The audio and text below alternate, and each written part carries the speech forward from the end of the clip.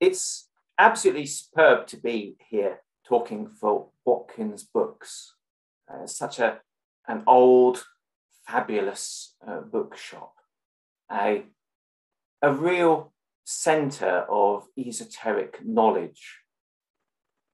Of course, Watkins Books has as its symbol Thoth, uh, or Tahuti, the Egyptian god of magic and writing. And you're going to see that this great deity appears as part of our, our talk today in many different guises and forms. So I'm going to start off by, by sharing a slideshow because they say a picture is worth a thousand words. And you don't want me to talk that long. So today we're talking about the Hermetic art of memory. And I'd like this to be a memorable talk. But in order to ensure this, I need your help.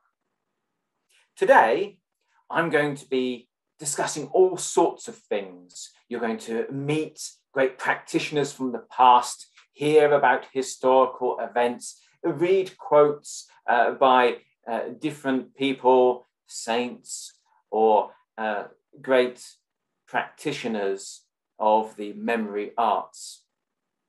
But the goal isn't for you to gain any of this information. If there is something that stands out and it remains in your mind, that's wonderful. But what we're really looking for isn't information, it's inspiration. So, as we explore memory, we're going to go very close to the nature of human consciousness, to the hidden forces that underpin all the hidden and mystical arts. During this exploration, there may be something that stands out, that has resonance, which really lifts you up. When you find that, a new way of looking at something, a, a greater understanding of your own consciousness, a empowerment uh, from outside in, I want you to press it firmly within your heart. Make it your own. Culture it and let it grow within you. And then you will be practicing hermetic memory and be gaining what the potential that is offered here truly is. The basis of this talk is this book, The Hermetic Art of Memory. If you are aware of the art of memory and its uh, more ambitious applications, you will also be aware of Giordano Bruno, uh, the Renaissance mnemonic practitioner and heretic who uh, came to Great Britain or to the British Isles, I should say, and who taught and wrote during his time here. Bruno is understandably very cautious in his writing and he's very flamboyant in his artistic nature. So his techniques are there, but few people can really understand him. His student, Alexander Dickson, who was a Scottish member of uh, the Scottish Royal Court uh, of James VI uh, to become James I of, of England as well. He is less hidden. And I think that the environment in Scotland was a bit more open minded. And I think uh, Dickson's way of thinking was a little bit more direct. So Dickson was a brilliant apprentice to Bruno. And so much so that the two men really felt they bonded, which is which is good because Bruno didn't get on with many people. Dickson became known in Scotland as the man who'd restored the druidic art of memory. Any form of memory which had a, a hidden connotation became called Dickson's art. It was said that Alexander Dickson could recall your memories, could remember things from the future as well as from the past. It was said that he remembered where William Wallace's boat was and managed to uh, regain it. Excellence and genuine ability is the focus of Dixon's work as well. The actual text is a prosopopoeia. It's a, a writing uh, whereby he imagines what would happen if Socrates met and uh, some of the characters that Socrates is made to mention in Plato's dialogues. Sounds complicated?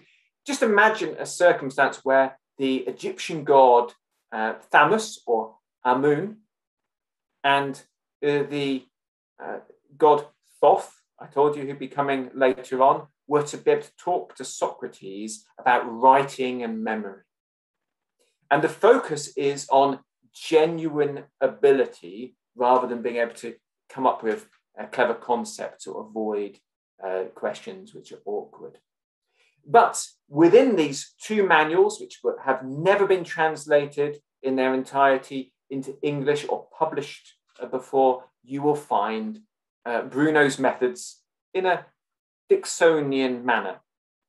You're probably aware that Bruno's most famous book is The Shadow of Ideas. And of course, his apprentice honored him by calling his book the shadow of reason and judgment. Now, I could uh, talk for another 30 minutes just on this fascinating work. But today, I'd like to give you a little bit of a, a tour of what you would be learning if you were Dickson's student. You could actually do this. You could become a student by paying, it was seven sovereigns and you would become a el- member of a very elite group, a group which um, were banned from the gambling houses in, in London because they used to come down from Scotland and uh, leave with all the English money because they could memorize a deck of cards in 10 seconds. And this is the kind of syllabus that I believe you would take part in. Now, I'm going to only be able to touch on each point but be reassured that I'm talking as a practitioner. There's nothing I'm mentioning that I haven't tried myself.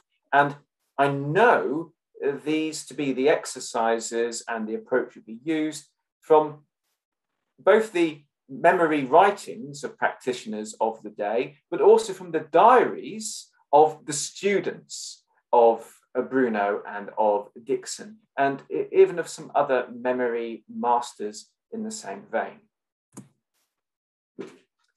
So the first thing I need to make clear is that memory had a different connotation during that time. Memory is the art of creating something in your mind. So it's not to be mixed up with reminiscence or recalling something. That's part of how you, you could use memory, but it's any form of imagination, any form of visualization.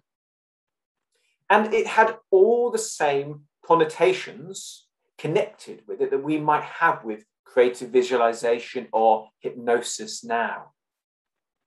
So just think of how nowadays we would believe that if you imagine something enough, it would create a kind of resonance or link or change who you are. Well, this was even stronger in that day. It was believed that memory made your mind.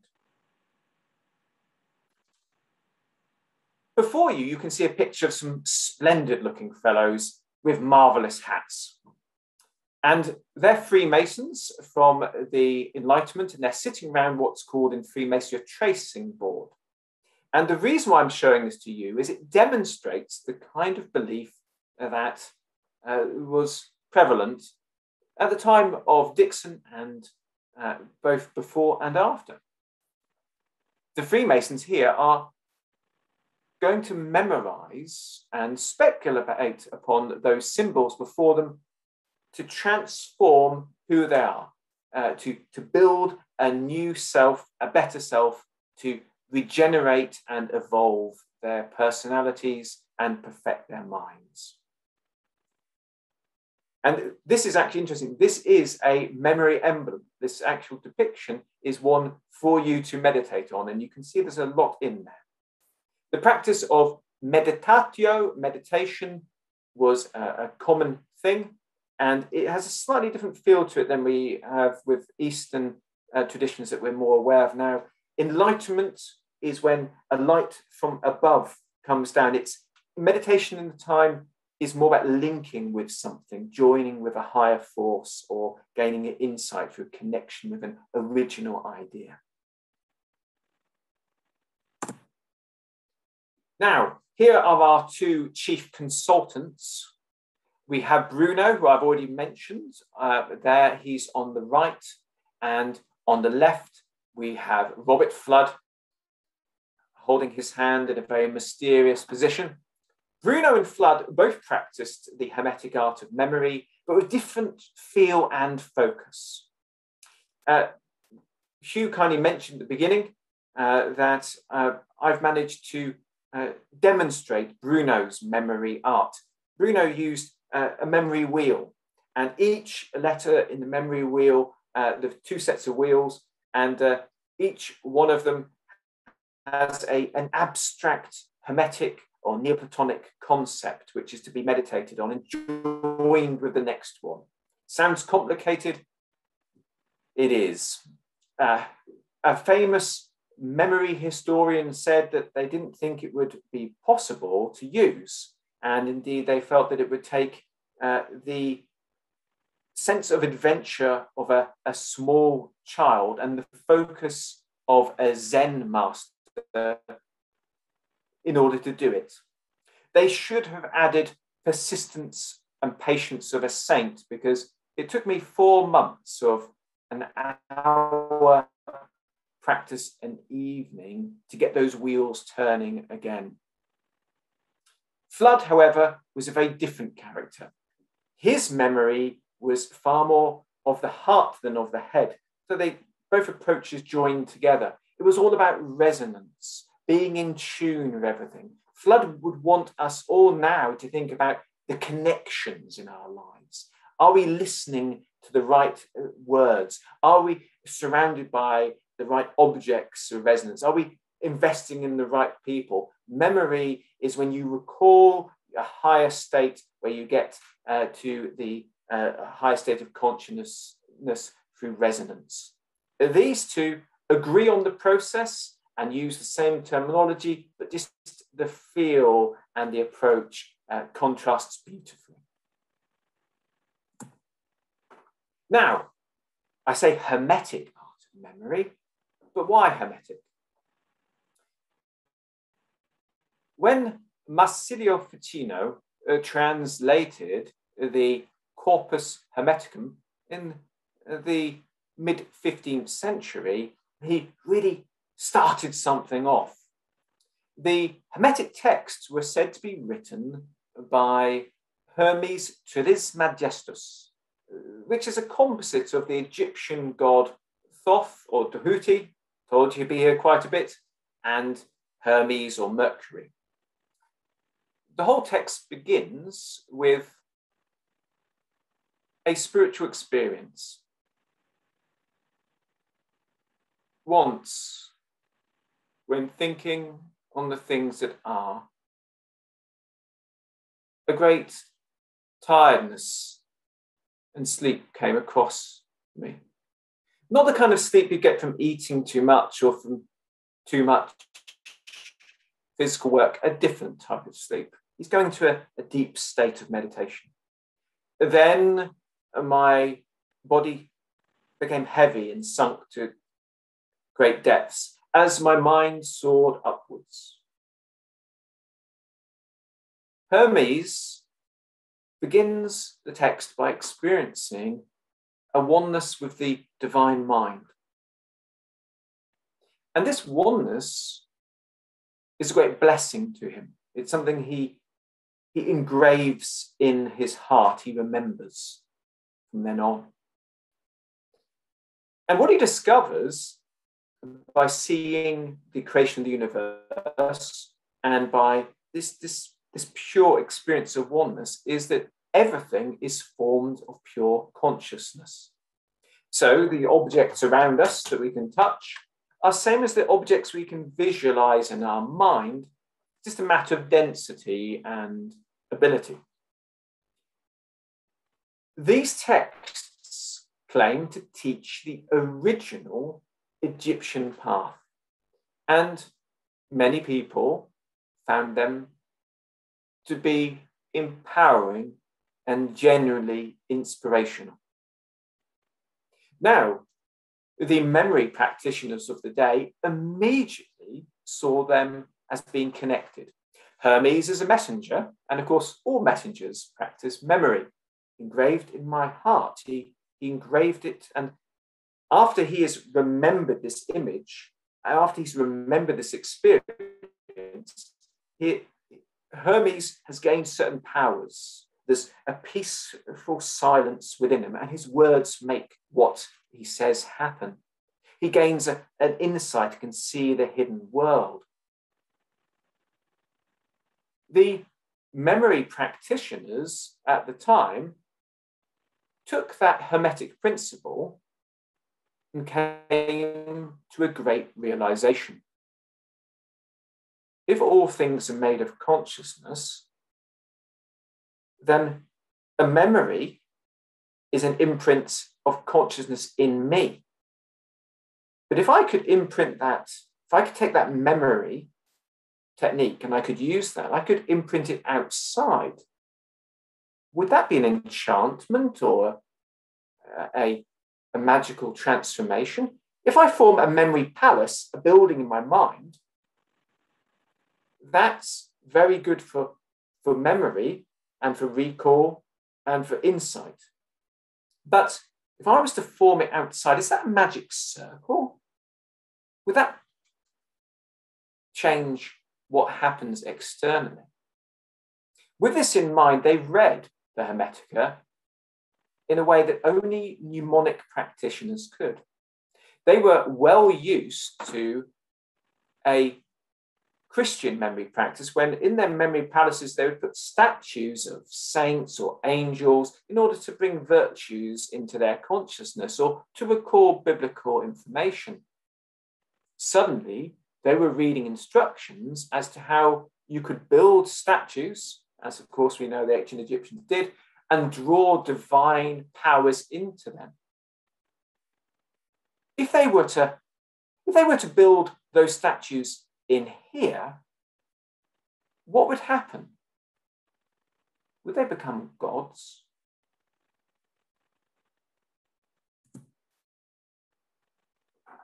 In order to start such training, we would need to have a good control over our existing ability and consciousness.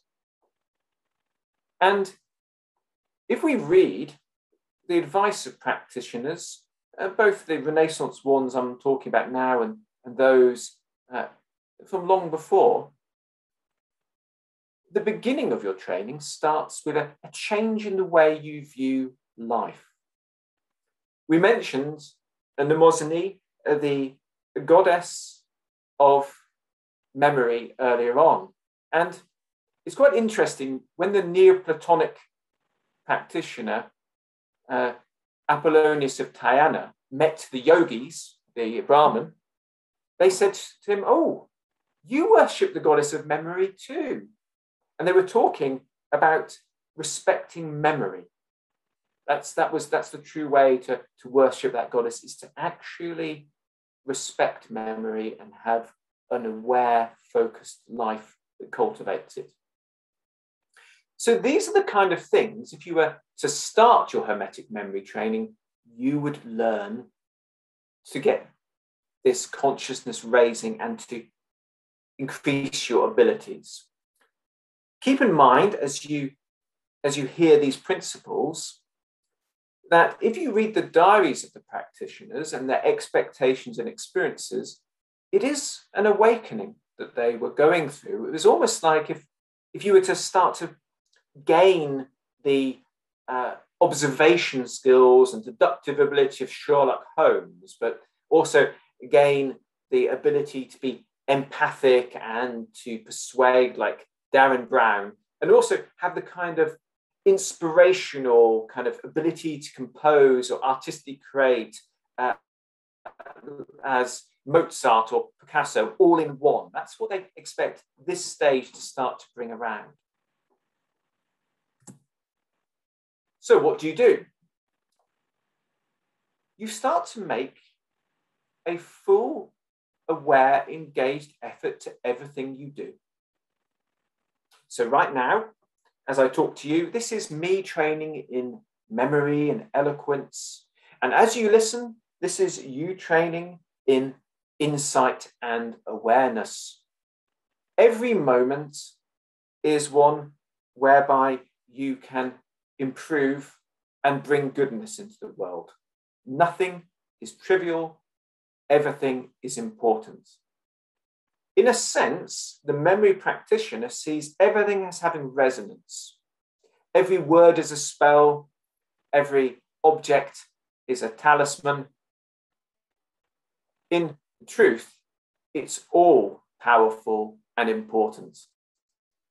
These are our ritual robes. This is the most powerful influence we, we have with us at all time. In addition to this, a new, resolute, powerful, inspired attitude towards any form of mental challenge. So it's a little bit different for us now. Uh, so I'll give you some modern examples. A memory practitioner should let go of anything that's supporting them they don't need.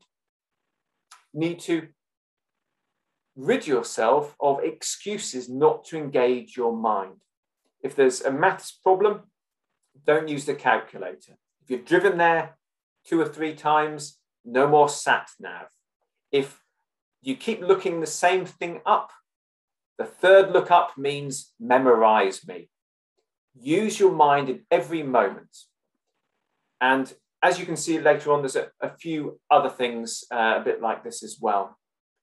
Another opportunity is when someone asks you to recall a past event.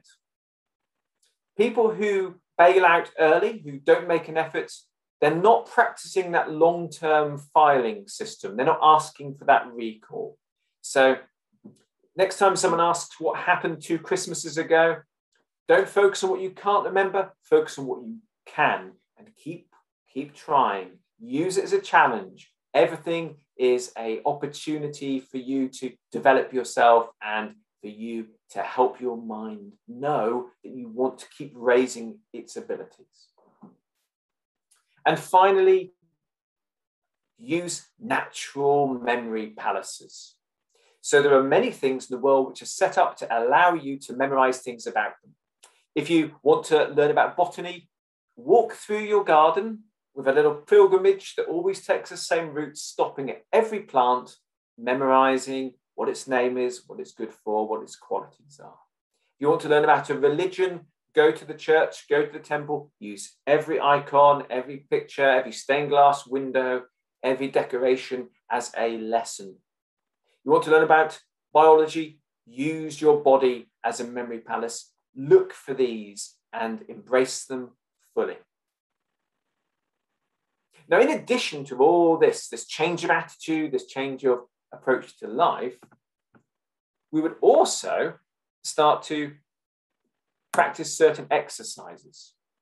Now, this is a really wonderful ancient one. You can see this in the earliest records of the Pythagorean tradition, and you see this generally engaged with by the memory practitioners that we discuss. What you do is every evening before you go to bed, you make sure you're upright and seated. Uh, don't lie down for this, you'll start to go to sleep. Upright and seated, and you go through the whole of your day and you record everything that happened in as much detail as you can. Use this to iron out any things that you find tough. Focus on your lack of ability rather than your advantages, and you'll do really well. So, anything that in life you find a bit tricky in this meditation, empower it. Balance lies with practicing what you find hardest. So, if you're not good with dates, start with a date. Sit down and say the date to yourself. Then go through the day recording every single conversation, every email you sent, every phone call, every job, everything you ate, everything you did. It is such a refreshing, powerful thing. This allows you to critique your day in a way you, you don't normally get to have a chance to see everything that you did well, that you're going to amplify in the future, and everything where it could be improved that you want to grow into a better expression. Make sure you've got a sense of light, joy, and savor that day with a sense of thankfulness. Take note of what you're going to improve, and then it's time for sleep. This exercise, in and of itself, has all the benefits of meditation, uh, but much more in the sense of memory improvement and genuine empowerment to your life and a, an addition of skillfulness to your abilities. These tiny adjustments allow you to keep doing everything you're doing better. Soon you're going to find that you achieve a lot more than uh, you used to because you've recognized those inefficiencies and you've evolved each and every uh, task to the next level.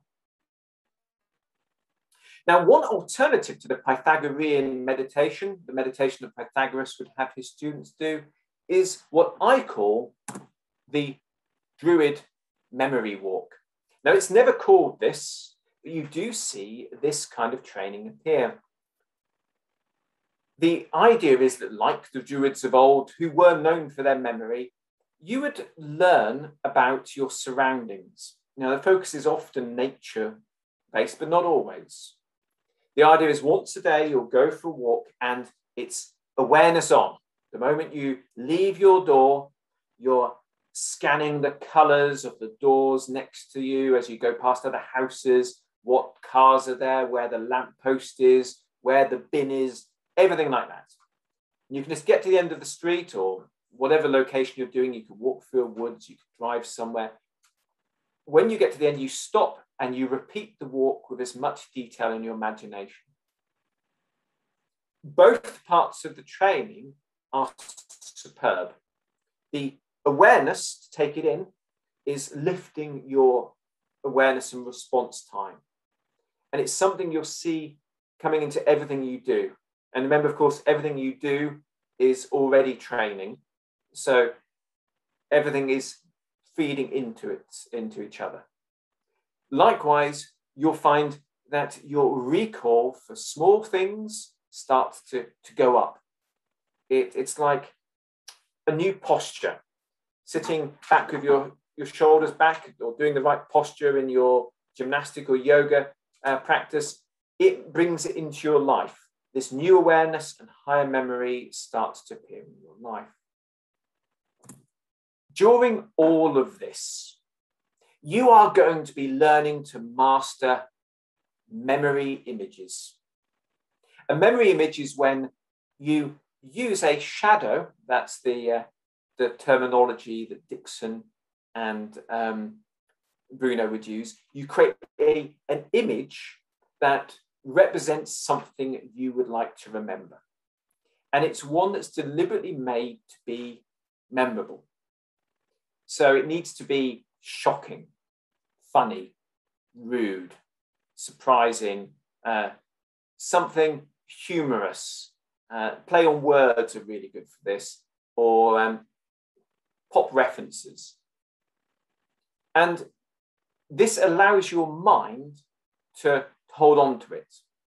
This is actually a very powerful thing because it works with how your mind works. They've done some wonderful tests, some great uh, scientific tests to show how powerful this is in terms of daily life.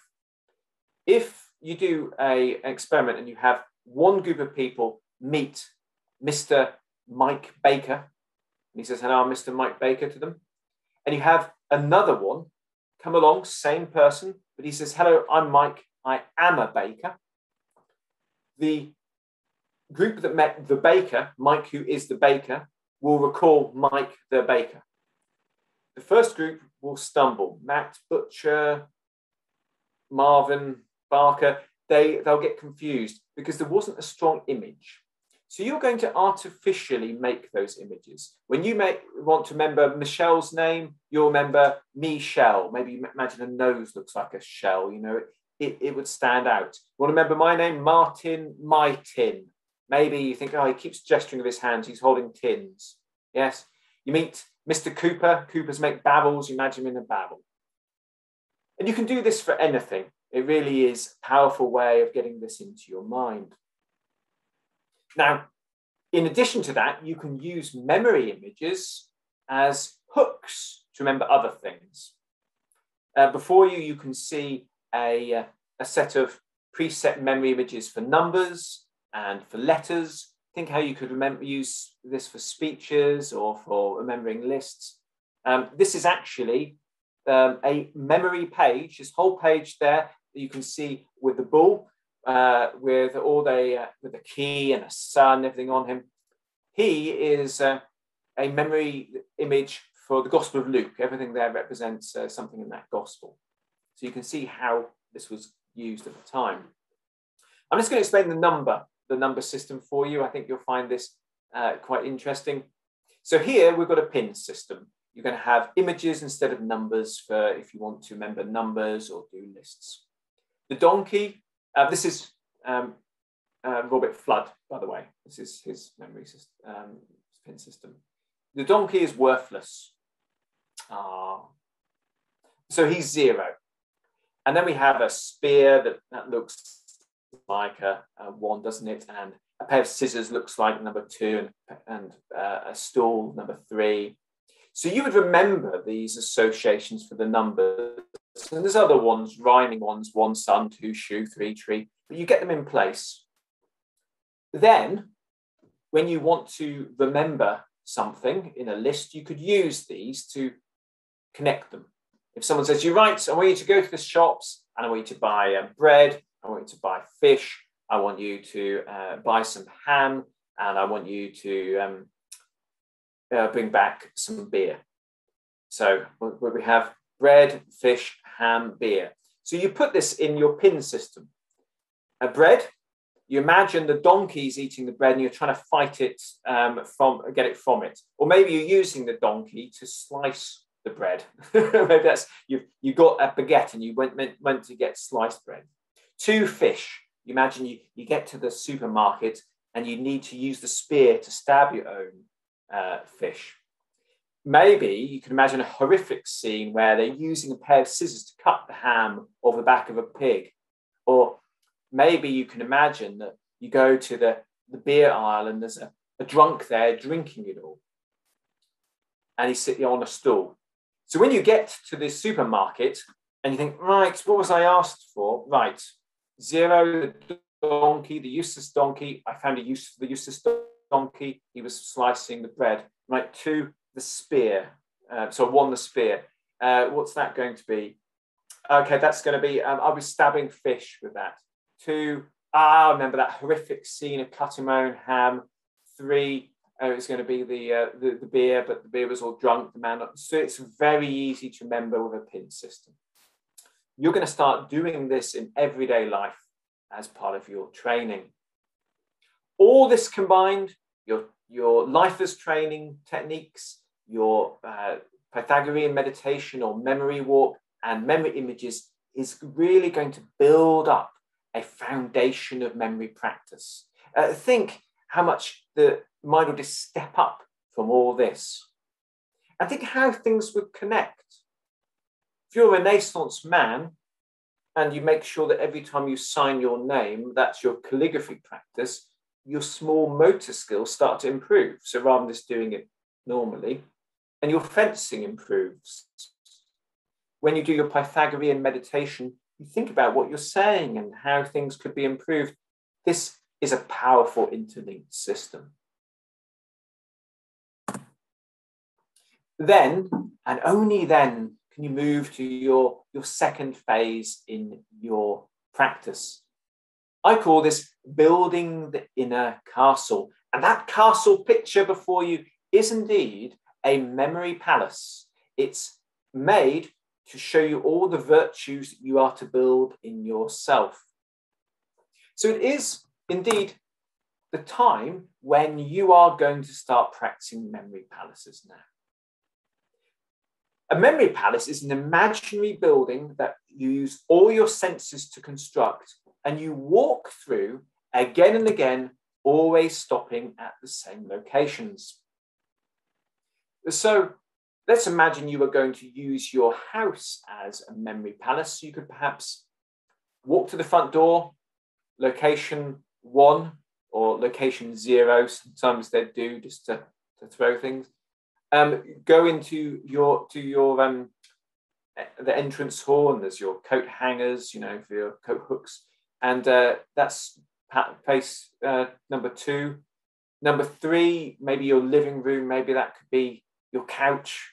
Uh, number four, maybe could also be in the living room. Uh, that could be your television. So the idea is to create a, a filing system. And these different memory locations are where you are going to put your memory images.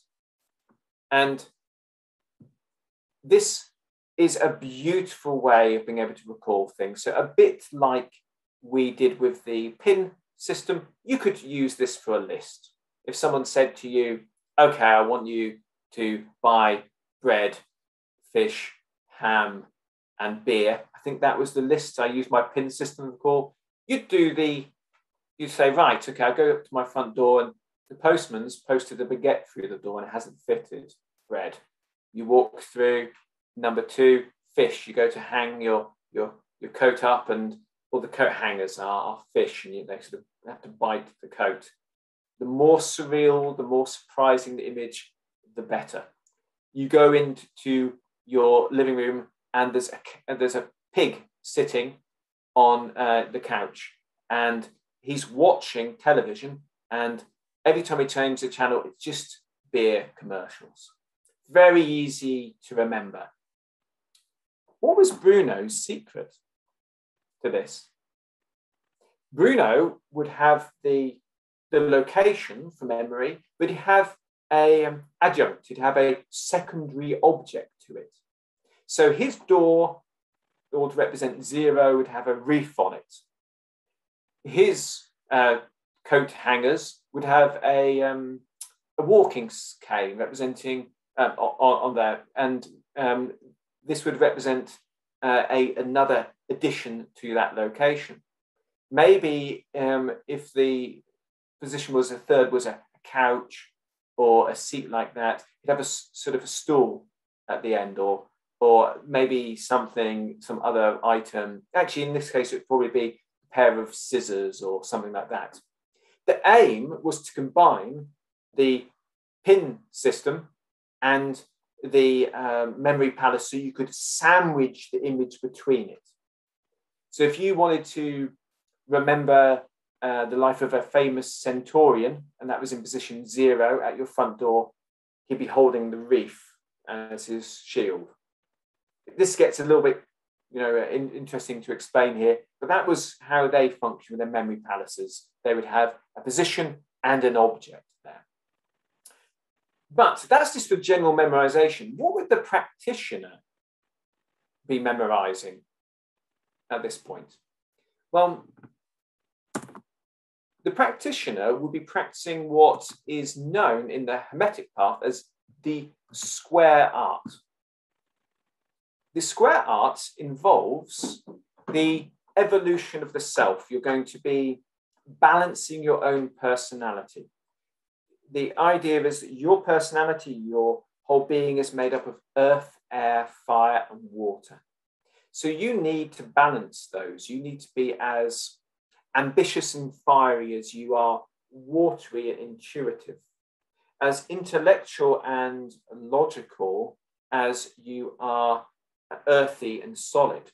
You need to have your, your will, your emotions, your intellect, and your consciousness and instincts all in, in harmony. To do this, they would memorize emblems. Um, so before you, you can see some examples of these. This is actually a, a Rosicrucian memory uh, system. Uh, you could get this as packs of cards um, or a little book. This is by Daniel Cramer. And each one of these steps is a, one of the transformations your heart would go through. And the idea would be to puzzle these out, to really contemplate them, to really meditate uh, upon them. And it was believed that symbols memorized and mused upon and really connected with would change who you are. Remember, what goes into your mind uh, becomes your mind. At this point, I, I do want to mention that for memory practitioners who are interested in this, there is a, a modern uh, pack of memory cards that, that I've produced called uh, the, the Death of, of Hades. Uh, so this is, this is uh, available for those who get to this level and want to explore it. But how uh, did this technique work? Well, we know that the connection between memorizing images and the transformation of the self goes back very far. In fact, there's a manual, it's a, it's a parody of sophism called Dissoi Logoi uh, from 422 BC. And it gives some examples of, of how you could memorize certain things and transform yourself. So the idea is a bit like this if you wanted to be more brave, you would meditate upon Achilles and you'd imagine the figure and you'd use him as a memory palace. Everything about Achilles would say something about uh, his bravery. Maybe you memorized the spear that he used to, for some heroic act. Maybe his helmet was connected to some adventure. Maybe that shield was given to him at this battle. And the more you put this in your mind, the more your mind remembers these qualities and brings them out in you. It's like a, you bring the blessing from that image in. One of the ones that makes me smile is if you want to be uh, more noble and, uh, and you want to uh, have that sort of sense of honor that comes with uh, a lion, you imagine yourself as a lion, and you get all those lion like qualities. Now, those who are, are aware of Oriental meditation practices when there are benefits of achieving oneness uh, with uh, a, a, particular image or a set of ideas will be well ahead of us here. And but please be reassured, we will visit that subject later on. You're going to find the Western equivalent of of samyama uh, and, and indeed achieving uh, full samadhi on, on something uh, coming soon. In the meantime, I want to explain to you why most people who were educated in memory would be quite sure of this practice. St. Thomas Aquinas, who's a wonderful writer, you should read St. Thomas Aquinas. Uh, he's definitely on the path. He's definitely doing it. It's really wonderful to read. It's really great to sort of connect with someone who's striving for genuine knowledge and genuine evolution. He believed that the memory of a, a symbol was very important, if not invaluable, for any change of character. And that's because uh, I'm not going to read his quote, I'm going to translate it into modern words. It's because your mind doesn't like abstracts. If someone, if you just someone says to you, "Can you do this?" It just sort of floats past. If you want it to hold in your consciousness, you need a symbol. That's why we have a wedding ring. That's why we sign a contract. That's why you need a symbol. If you're going to take a vow, put something on. You put a bracelet to remember that, put it in, in, in your mind. He believed this is because it, connects with our, our estimative ability, our, our subconscious, as it were. That's the kind of term they had for the animal self then. Now, these this idea that corporeal similitude symbols would transform us by going into our deep mind have been well tested and well thought out in hundreds of years of memory practice within the Catholic Church. And Albert the Great, St. Albert the Great, who's St. Thomas Aquinas's uh, teacher, he said that the mechanism was similar to when you learn from a big experience. The example he gives and I believe this is from his commentary on De Anima, uh, which is Aristotle's work on the soul. The example he gives is if you, you're walking through uh, woodland and you get bitten by a wolf, you don't need to rehearse. You don't need to remember that much, do you? It's just there, deep in your mind. Even if you don't even consciously think of it, you're going to be a bit more cautious in words from then on.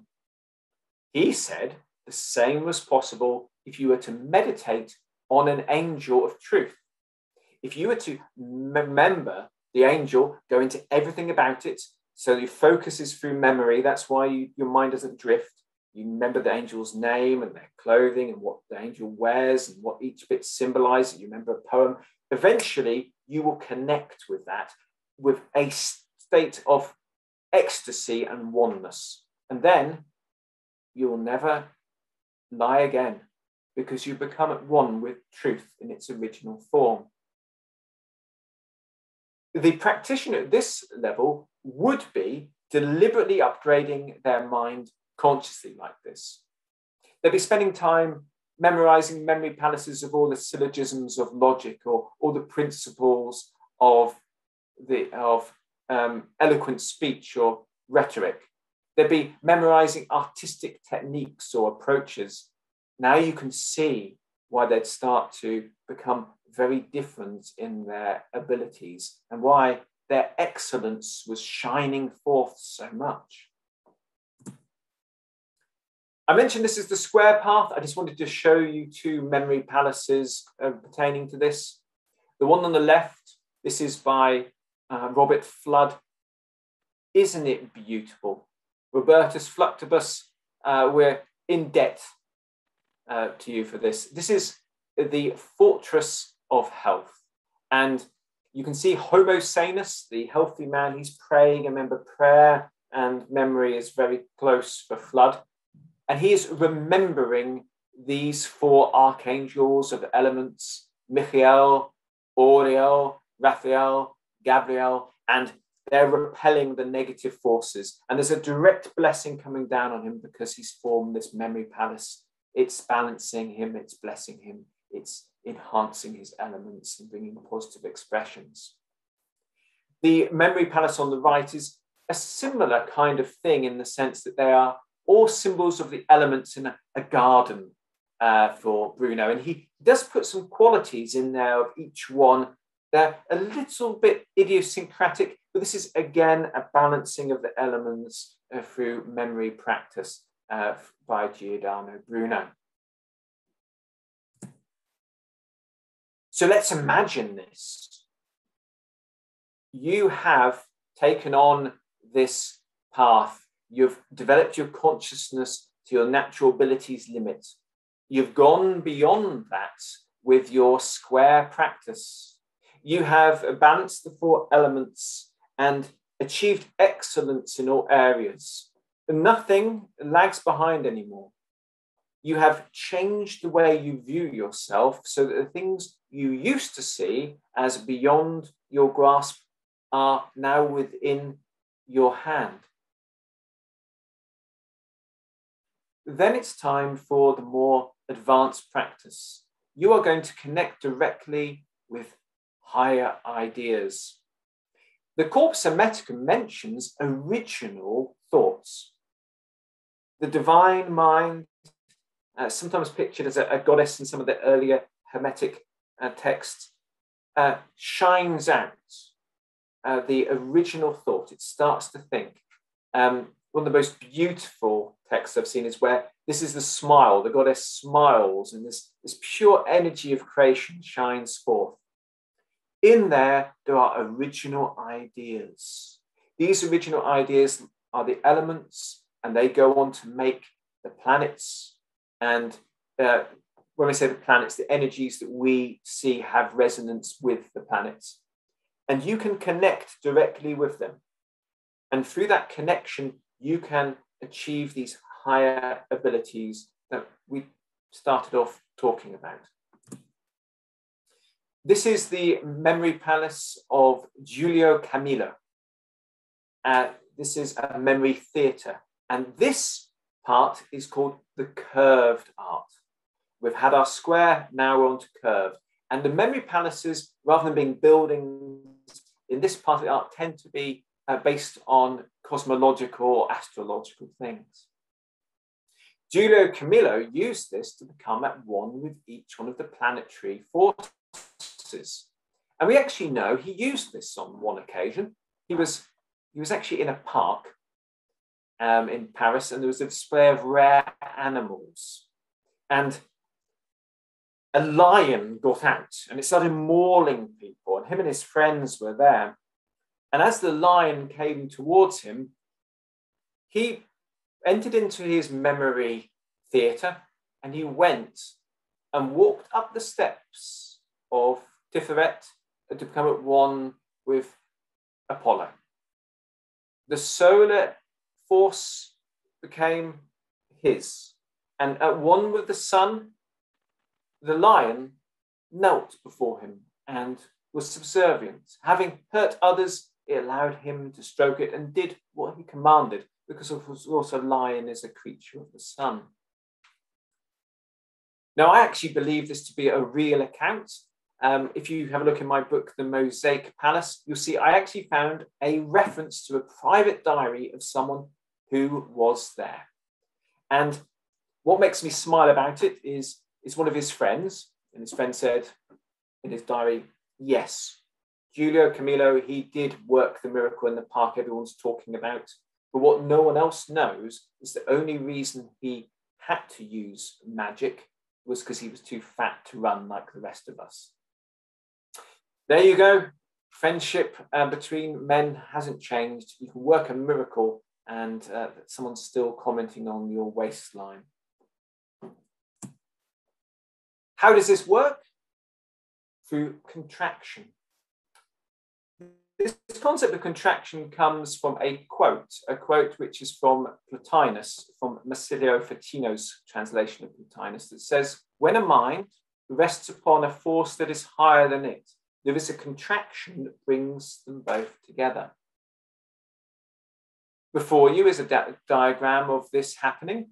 The heart, which is black, is not open to the higher force or what it's tuning into whereas the other heart is and receives that ray of uh, pure blessing and energy. This is contraction is samadhi, it's oneness of the of yoga, but this is the uh, equivalent in, in our memory practice. Giordano Bruno lists many techniques for achieving contraction, including holding a posture or, or, or fasting. But for him, pure focus, pure meditation is the only right way to do it. For Fludd, it's about opening yourself up. Imagine a tradition of meditation where you don't really mind what you think. You've just got to get in tune with it and let it in. If you want to become one with love, you find uh, the planet Venus, you sit with your teacher, the teacher lets the planetary rays shine into them, and you follow uh, because you can you can you can sense their ability you can imitate that. That's the kind of uh, Robert Fludd kind of approach. But both achieve this contraction where you become at one with that. Um, you'll see in yoga texts the description's very similar in the sense that they'll say someone that's at one, if someone becomes at one with um, an elephant, it says in the Yoga Sutras of Patanjali, to gain superhuman strength, you need to meditate on the strength of an elephant, or to know the positionings of the planets, you need to meditate on the sun. This practice of oneness through the mind becoming at one with exists in, in all genuine spiritual traditions. Um, and I've, I've, got to make this clear. Memory, the memory wheels of Bruno contain as detailed instruction, if not more, than any yogic or Buddhist text I've read. And his classification of the different types of contraction go beyond the different types of samadhi. He really lived this. So that, and this was his life's work, was the focus on, on this uh, practice of memory. I talked about memory wheels. There's, uh, if you have a, a search, you'll see I have done a whole talk on memory wheels, and it's really beyond the scope of this talk for me to go in depth. But the, the rotation of these memory wheels is a way to keep your mind on something fully to achieve that contraction. Imagine if, if letter A here was going to be forgiveness, and each letter or number has an association for you you could sit there and say, right, A, forgiveness, forgiveness, forgiveness. A, A, forgive me. You meditate on forgiveness for the self. A, B, forgive my family. A, C, forgive uh, my friends. A, D, forgive strangers. A, E, forgive nature. A, F, forgive God or luck or forgive your enemies. You'd go through this it's a very easy way to become at one with something. You can you can do a meditation uh, that lasts a considerable amount of time. Uh, Bruno's wheel to rotate. If you you have a, a search, you'll see uh, my demonstration as well of Bruno's wheel. Uh, this took um, over seven hours to perform, uh, just to rotate his wheel in a manner um, it, which is analogous to what I've described here. The memory practitioner will be working up a hierarchy. They'll be starting on things which are easier to come at one with and moving to higher aspects. The most popular of this would be orders of angels. And uh, these are seen as very positive thoughts. Christianity taken on that Neoplatonic idea of original thoughts, and the archangels were those original thoughts. Now, I've got to add this in here. This is John Dee's hieroglyphic monad. If you read the monad, Dee says that you need to put this into your creative memory. And there's lots of contemplations on this. Reading the diaries of memory practitioners, I've discovered that they viewed this as the same as Bruno's memory wheel. You would be practicing becoming at one with the moon through contemplation, through contemplation, through contemplation and then you do Venus. You work up the planets, a bit like I was talking about working up the hierarchy of angels. And eventually, when you got to the top, then you would join them all together and be at one with them all at the same time using the monad. Wow. Imagine what that would be like, being at one with all the original forces here. This is called the golden chain. This is the code you'll see in memory text. Um, there are a few other golden chains mentioned in uh, the Hermetic Art of Memory. Here you can see the, uh, the order of existence, uh, this golden chain, uh, coming at one with stones and then one with plants and practicing with animals and then moving on to ideas, uh, angelic figures. That's one path. I mentioned the planets. Most people will be aware of the Tree of Life. Dickson was recommending the Mansions of the Moon, uh, the, uh, the uh, decans of the zodiac. For him, uh, these the constellations and the different stars and the points in the sky. This was this was the, the chain that you would walk up, gaining empowerment as you went. Each area, each star having its own quality and its own blessings uh, as, as you went, until you were capable of increasingly subtle meditations, experiences, and expressions of that in your, in your daily life. So now we have walked our own golden chain. And may I offer my sincere hopes that during our, our journey, you have found a few blessings which you have managed to take and place firmly in your heart, to keep in your memory as a blessing for you in the future. Thank you very much.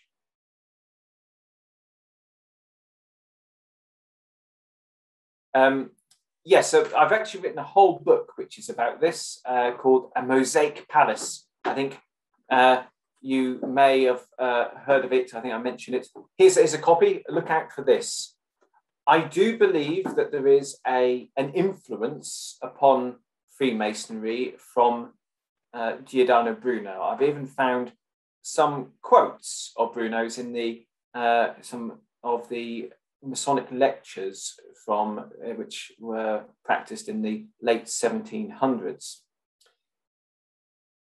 But I think we should remember that the art of memory wasn't just Brunonian. In Scotland at the time, they had Dryburgh Abbey and they had Kilwinning, which were copying Christian memory manuals in which you were to visualize yourself as a master builder. Uh, they were inspired by a, um, uh, a quote in Corinthians that says, you, if a good Christian, should render yourself as a master builder, and you should make basically you're going to make yourself a, a temple to the Holy Spirit. Well, they took that literally. So I think probably the stonemasons they they knew this uh, memory art from the people they're working for, and there were many laymen. You could join the um, a, a monastery and not be a full time monk. You could actually have a job. You could, it was kind of like joining a, on, on a more gentle level. And many of them were stonemasons. So I think probably the Christian art of memory was the main influence on Freemasonry. But the Hermetic art of memory uh, put a flavour to it. It was, uh, it was the, the cherry in the Coke in this drink. So um, I think there's there's some influence there. Uh, so do have a look uh, at that book and uh, let me know what you think, whether you think my assessment is correct.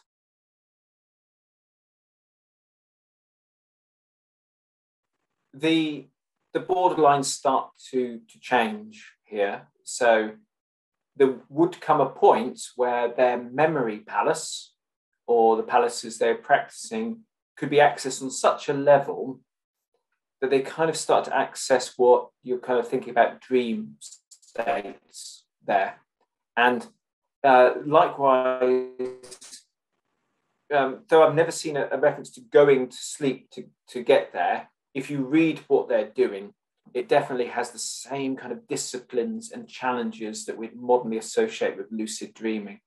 Making sure as they get deeper, they're going to try to keep awake, keep in the moment. Um, the palace actually starts to change for the practitioner as well soon. You've built this framework, but then you start to see how things really are with whatever you're working with. It, it becomes alive, and that's that's sort of part of that that journey. So I think it's wonderful that you've you've seen that link there.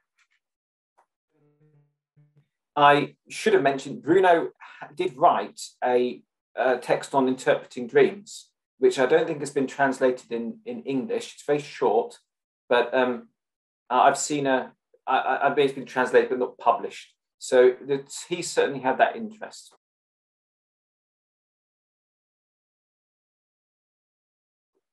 Yes, the images are surreal, and the borderline between a talismanic image where you're putting everything together because it has resonance, because if it has resonance, it has is memorable. And memory images can get very strange. So memory image is deliberately going to be jarring or shocking. And people find the things that work for them. And sometimes it can be very individual what works for them. I personally keep things separate. So I have a memory palace which is for higher things, but I have memory palaces for more mundane things. Because you can end up in a, a silly situation where you're trying to remember a new word um, and you're using play on words or silly jokes based on words in order to remember it. And yeah, you can imagine, you end up uh, imagining, I think there's a, um, one of the earliest examples of this actually is a, um, a solicitor is trying to remember a someone who has testified. So they're imagining him holding some testicles and they're imagining the rest of the case. This is a Roman case, so he's been hanged, so he's got a noose, and you know he's got a hat that shows his job and everything. You can end up with some very strange images and very surrealist things, which later on people have misinterpreted. So that image, which is i'm trying to remember a court case, became in a mistranslation, misunderstanding, to be uh, about uh, the sign of Aries strange things happening.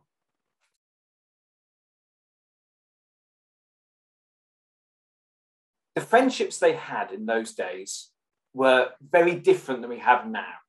They were passionate and they were energetic and they were inspired. So you can imagine a letter arriving, you know, from, um, they also had some, the, some uh, connections with other lords and other figures and so on that sort of come to mind. Um, and they would they'd, they'd, write about anything they found exciting.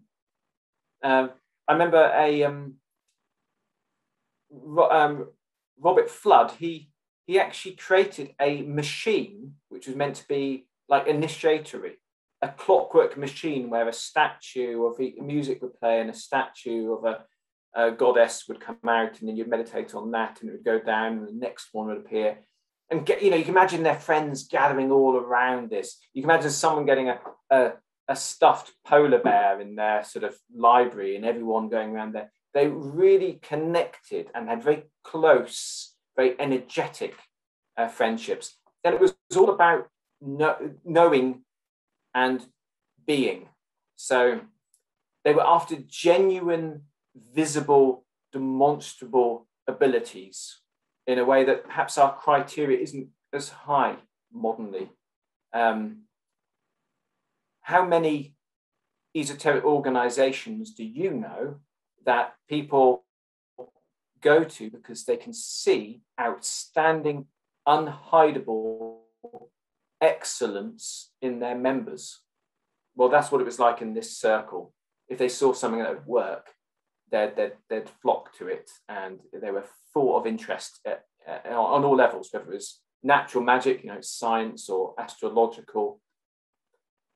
Now, Dickson wasn't a big player in this. He got involved in arguments with um, the uh, Oxford University, sort of came in against Cambridge and memory arts, and there was a form of memory called Ramism, which was saying, get rid of all this superstitious stuff, and was attacking his teacher, Bruno, and Dickson came to his um, rescue.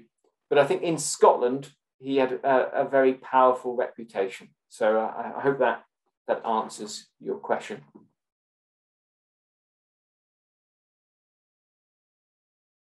Certainly, this idea of a golden chain you'd have to walk up and not so much in Dickson, but you do see in other texts a kind of uh, a statement as uh, statements like progress with this as far as your ability will allow, and even some warnings saying don't overstep yourself.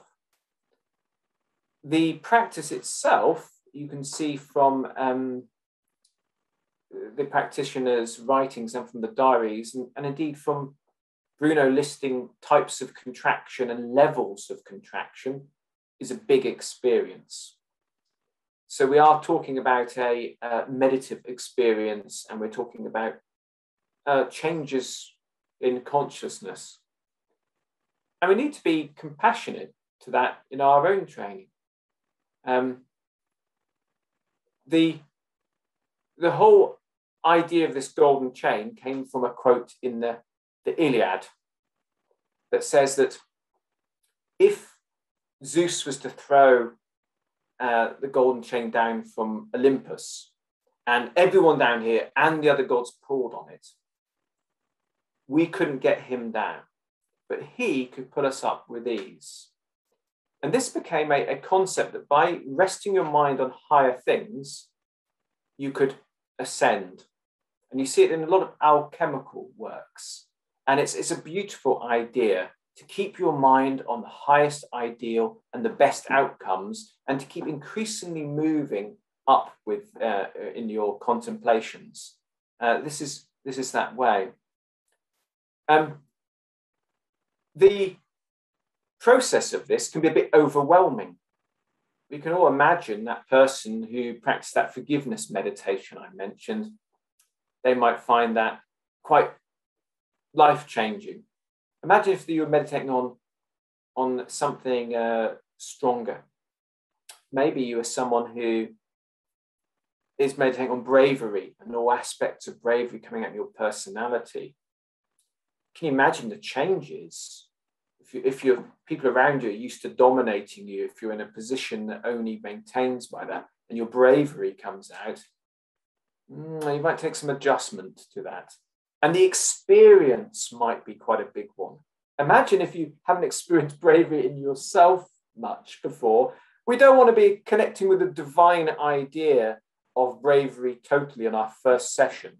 Now, luckily, there's a sort of inbuilt protection mechanism normally. But if you had a strong teacher, if especially if you sort of had the kind of Fludd's influence where he'd he'd set everything around you to help you be brave. It'd be the right time of the day, the right place, the right influence. You're probably meditating uh, on a, an animal that represents bravery or a star sign or something. It could take you just just in, uh, above your comfort level if you weren't cautious. So yes, there are levels, and yes, we must respect them.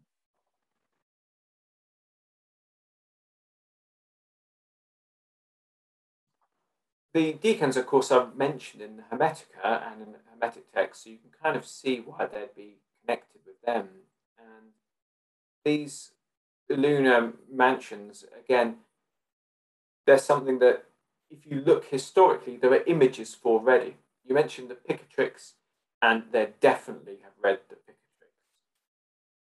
I think there's also an idea that this may be a direct connection um, there's certainly a sense that we want to get beyond an intermediary and we just want to go directly to that underlying force. And that uh, certainly, if you read Fludd's mosaical uh, philosophy, he believes that there's plants that have resonance with these certain forces. So you could pick a plant that's got the kind of um, energy that you need, that connection you need for your next step. Maybe it's one that's got calmness or inner peace in it. You could find a stone that's got that. You could go to a place or be around a calm animal.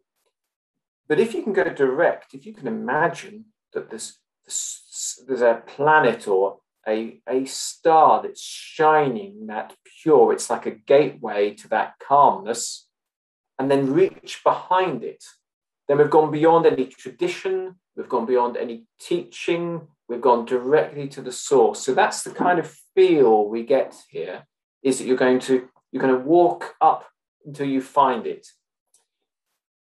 There was also that sense that the images could do things. Of course, these images from the Picatrix, um, they're very good memory images, um, and they're but they they also use for talismans. Well, you are the talisman, and it's the same with the images of the mansions of the moon. Let it also be known that there is an angel uh, for each one of the, um, the the the decans or the mansions of the moon as well. Um, this is very old practice as well. Um, Metrodorus um, Scepsius, he, um, he used to use this. Um, he had 360 memory points. So he probably had the decans and 10, maybe maybe 10 different places in there. Maybe maybe that was kind of a bit like a, a Sephirotic kind of thing going there. So these are some of the very early uh, practices. Um, I might add here now. Now we've got I've got the uh, opportunity that the association with memory and magic does go quite a uh, a long way back. There's actually a Roman court case where someone has been tried for practicing the Chaldean art of memory. It's the only time you see it mentioned, but it is a trial like he's a sorcerer. So this is the Chaldean, which is the Herenian, which is the Hermetic. It's it's it's kind of uh, goes goes back. Um, could you do it by timing? Yes, I think you could probably time your your practice so you are always working on what the current mansion the moon or what the current uh, sign or, or what was going overhead. I do, however, believe you're if you are generally connecting you might find your ability puts the brakes on. So, just as in the ancient Egyptian tradition, there's a journey through the zodiac in their, their spiritual texts, you know, the Book of Gates or Book of Hours. There's that. This journey is your initiation. You might find that you need to back off a little bit and you, you can't keep to the schedule, and you should be cautious with that. Um, and you should probably be doing this with a teacher, someone who can can help you uh, and help make adjustments. Um, so yes, but with caution.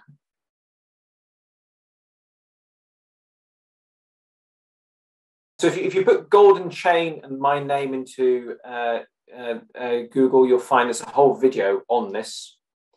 Um, and I think that Atma probably asked that before I went in depth uh, before I, I, actually gave the quote from Homer and explained that there was a step by step chain. Um, the best way, perhaps, I could most people could imagine this now would be a bit like the journey through the chakras, uh, the chakras in yoga, or maybe the Sephiroth. Um, this would probably be the equivalent, a, a natural step up through how you would evolve if you were uh, fully engaged anyway.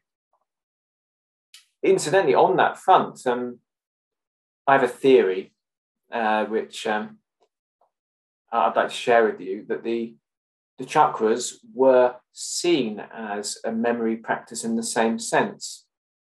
Do you remember I mentioned Apollonius Tyanus meeting the Brahman?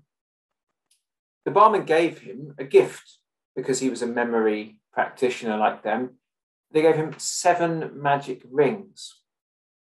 Now, myths since then have always had them as seven planetary rings, one to wear each day of the week, but they don't say that.